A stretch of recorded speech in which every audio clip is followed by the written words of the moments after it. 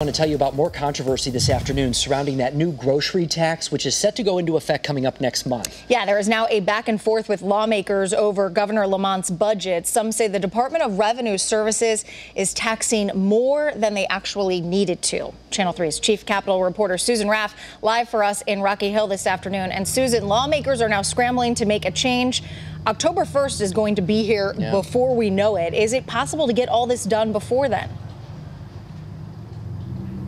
I think they would like to. I think the intent, obviously, is because of the fact that October 1st is the deadline for the new revised law on what can be taxed in the grocery store is supposed to take effect. So they only have two weeks, which isn't a lot of time. And when it comes to lawmakers' time, well, you know, that can drag on, unfortunately. And we're told today, you know, obviously people were upset before, and now there seems to be more backlash because people are now finding out that the list seems to have been overreaching by the Department of Revenue Services, so they have to crunch some numbers and clarify certain things. What we're told could happen in the next two weeks, the fact that they're going to try to put some new numbers together or clarify this law, and they hope that they could have some type of agreement, so that would be a legislative agreement by the committee.